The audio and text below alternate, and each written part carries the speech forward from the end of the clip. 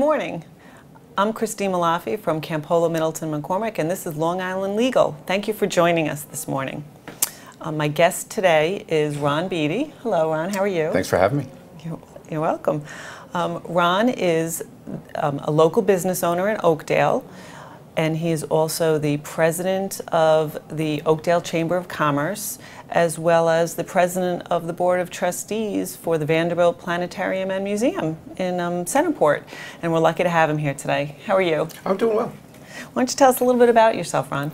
Okay. Um, lifelong Long Islander. Um, moved away for the, well, the Coast Guard moved me, me away for a few years, um, and uh, I just wanted to get back. Um, I think I, I, just mentioned to you before you didn't know that I was in showbiz when I was a kid when Guy Lombardo did the shows at Jones Beach. So I'm, I'm about all things Long Island. Very nice. And we have a, so you're a former uh, superstar. How's that? I w- wouldn't call me star. superstar, but uh, we had fun. It was it was great experience when you're a kid. I think I was 10, 11, and 12 years old. Great experience. Very nice. And what, what did you do in the shows? Um, two years of Sound of Music. I played Friedrich. Um, the oldest boy, and uh, that's in the days when I could hit a high G, which I can't do anymore, uh, at least not intentionally. Um, and uh, one year, King and I. Oh, very nice. Two of my favorite plays as kids. Oh, yeah. Yep. Okay. Very nice. Um, why don't you, um, you know, your career is so varied. You, you're a local business owner, you're involved in a lot of business entities, but you're also involved in um, a lot of charitable organizations and you volunteer a lot. Um, how has your volunteerism played such a dominant part in your life? How did you get involved in it and, and why does it play such a, a, a dominant part in your life? I, I, like all things, I think it's the uh, having having parents that set that example.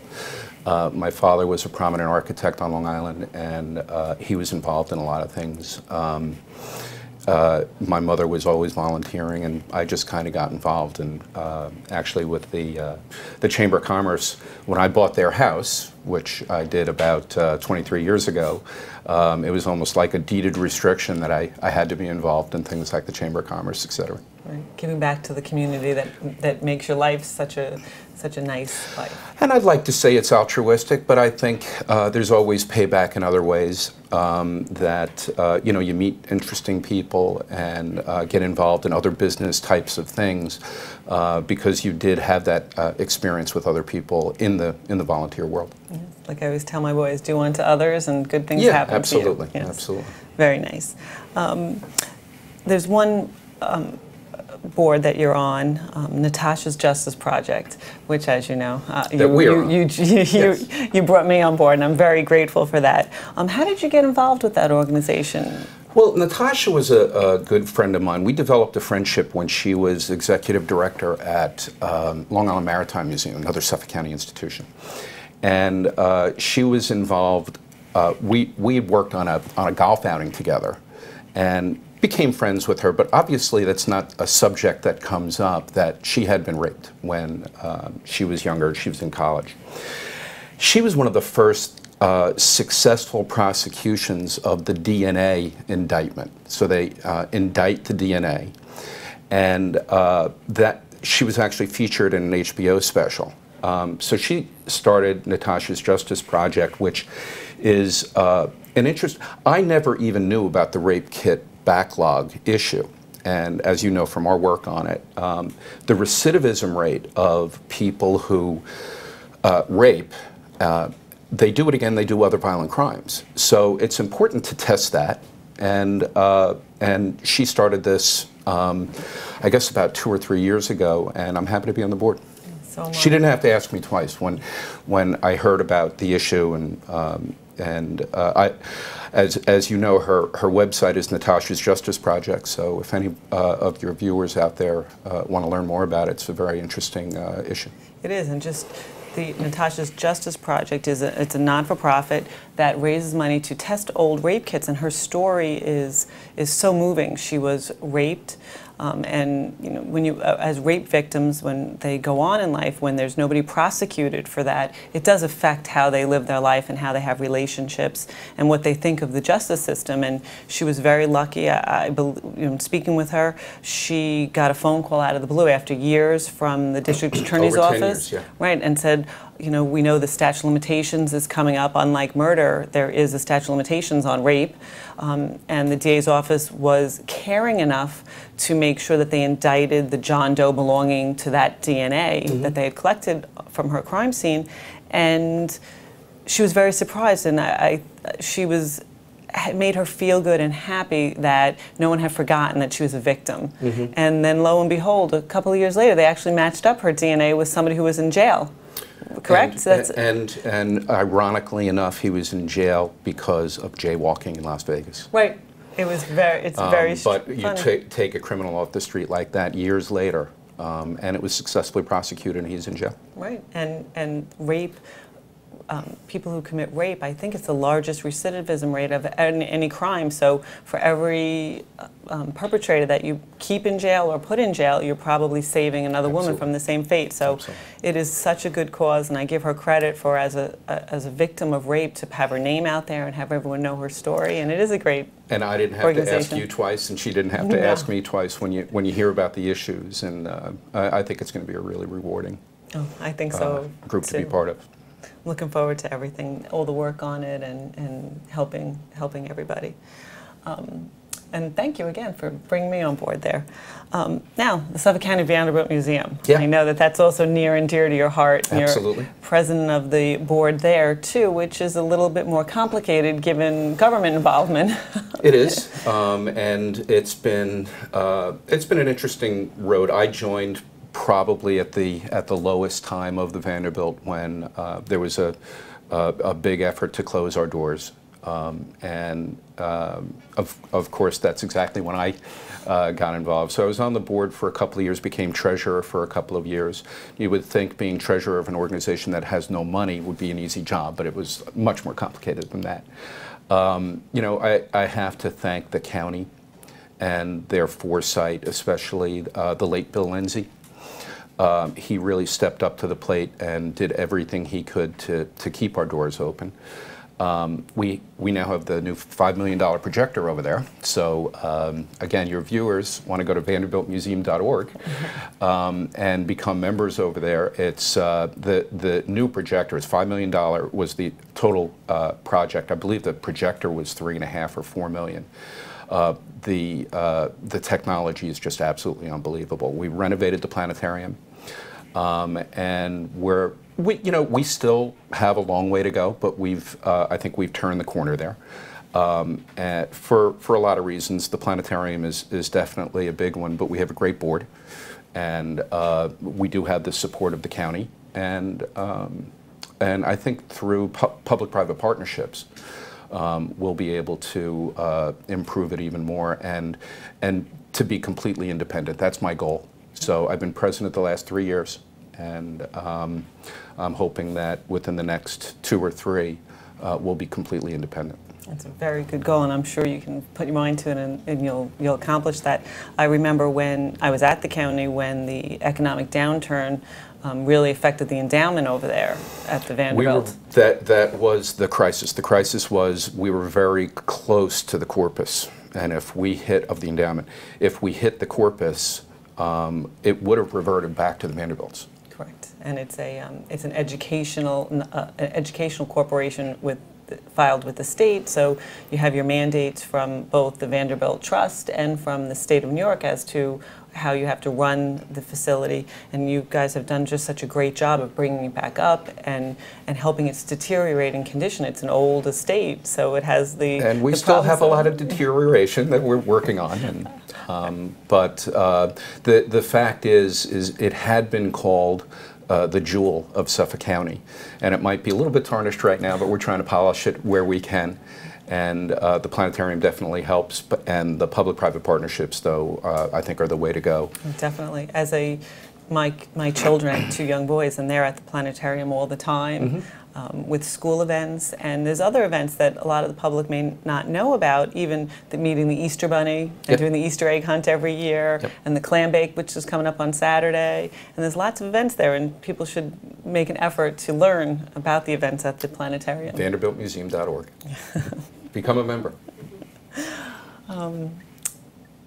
And so another one of your volunteer organizations, um, the Chamber of Commerce in Oakdale. I know that you were involved, and then you know business takes you other places, and you focus your attentions other places. And you had a little hiatus there, and now you're back as the president. I did have a us a hiatus. The hiatus really had something to do with Vanderbilt because I had just become president uh, of the Vanderbilt, and, and we hadn't turned the corner yet, so I knew that was going to take a lot. I also was uh, diagnosed with prostate cancer. So uh, I wasn't sure how much I could commit to the chamber back then. So I, I, I took some time off. I had been president for, I think, 10 of the last 15 years prior to that. Um, and it's something that, uh, again, my, pa- my parents were founding members.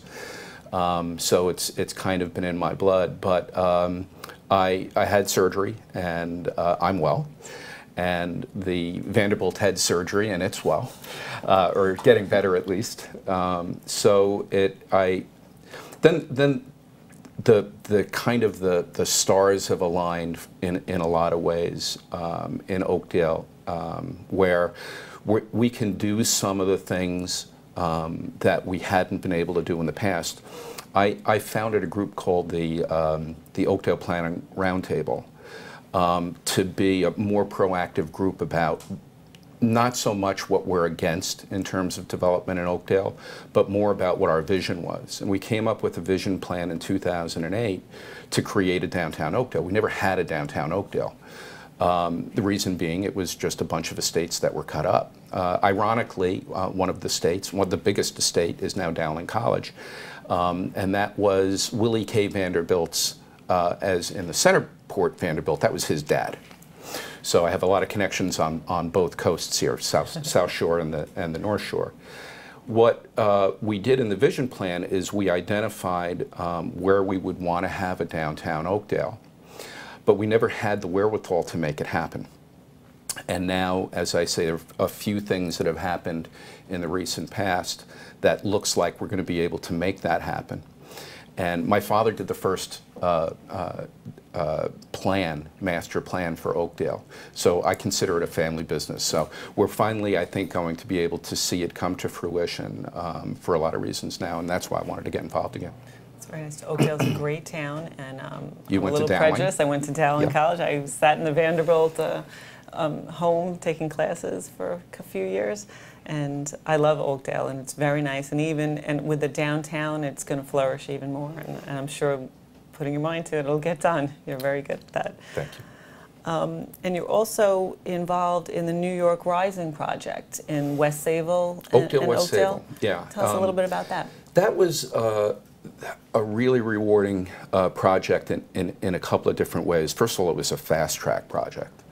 Um, and back in August of 2013, uh, I was approached uh, to be co chair um, of the New York Rising. And if you're not familiar with it, there are some other New York Rising uh, programs. Um, ours was for community resiliency to a future storm.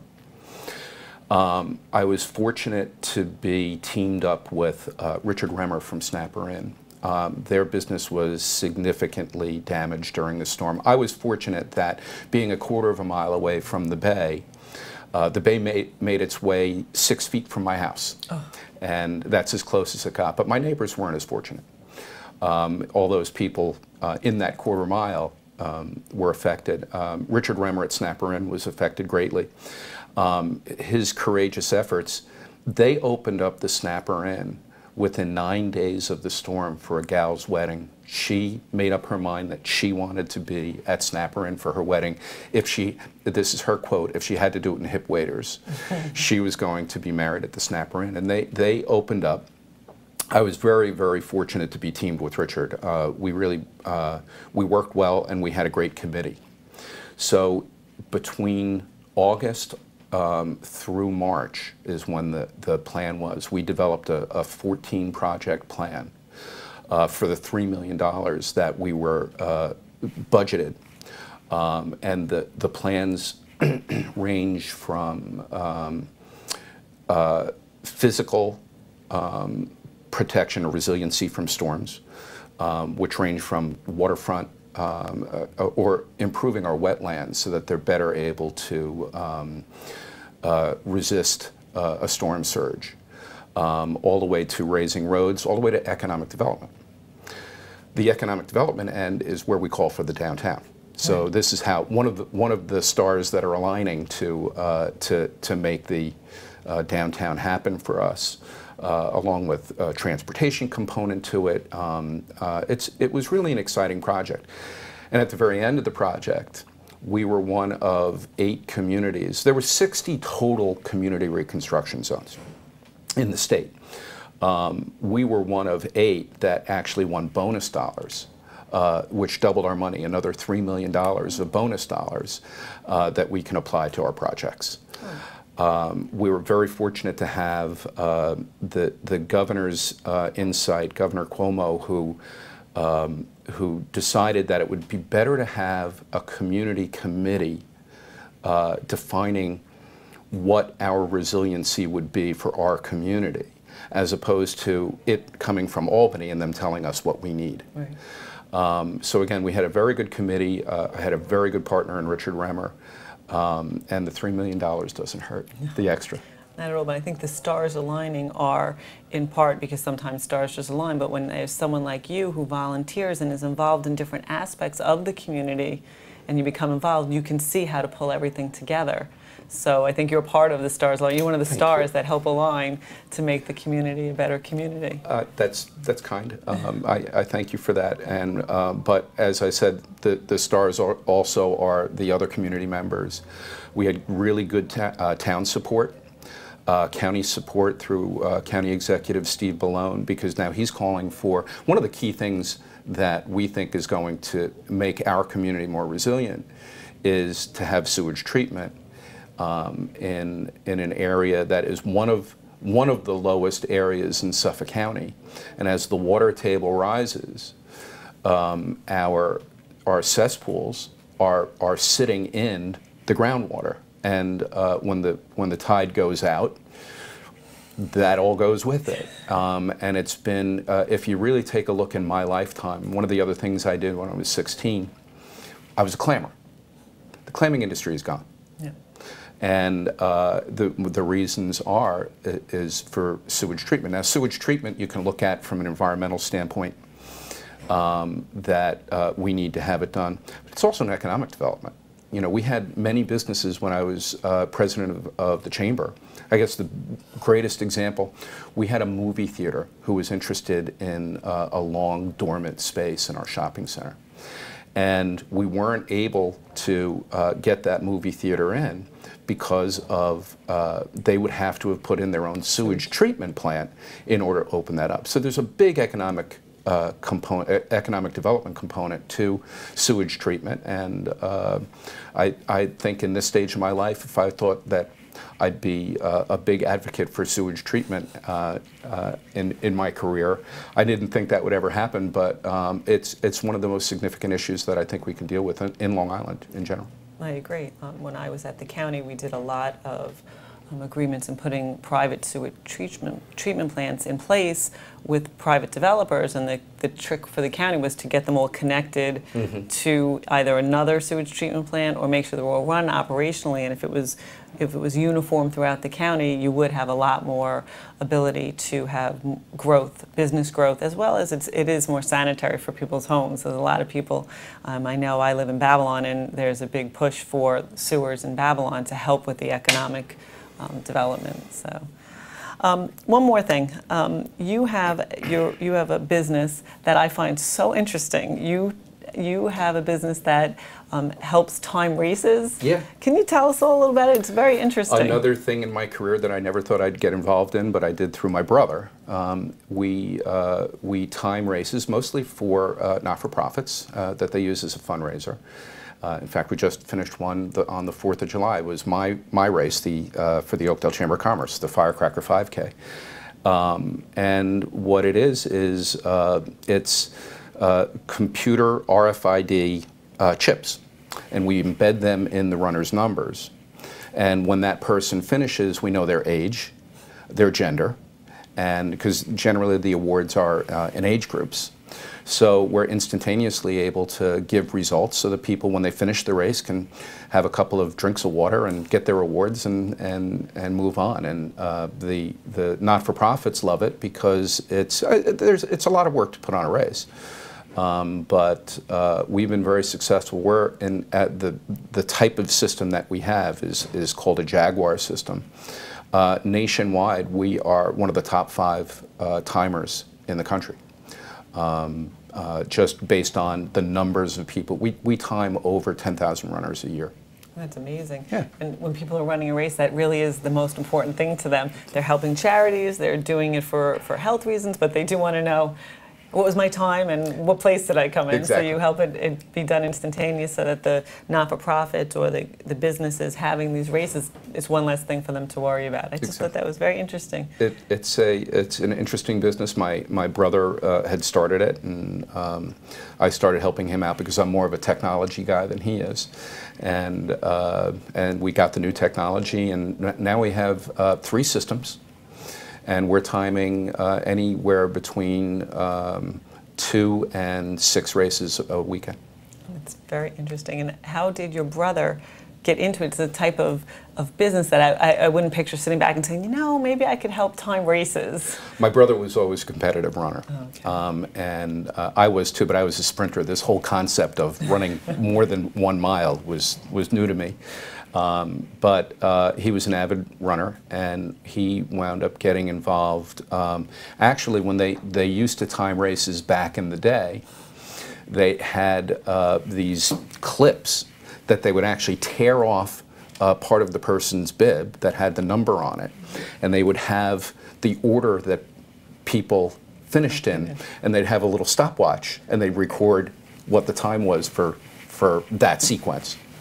That and then then it, it became uh, computerized, uh, where you used to wear an ankle on your chip.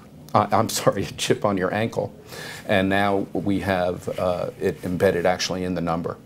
Very interesting. I find you've had a very um, interesting and varied career.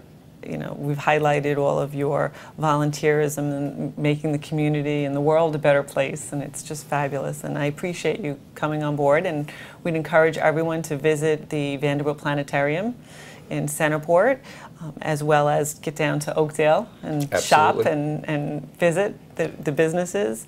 Um, and I appreciate you coming, Ron. Thank for you so me. much. Thank you, everyone. This is Long Island Legal, and we appreciate you watching.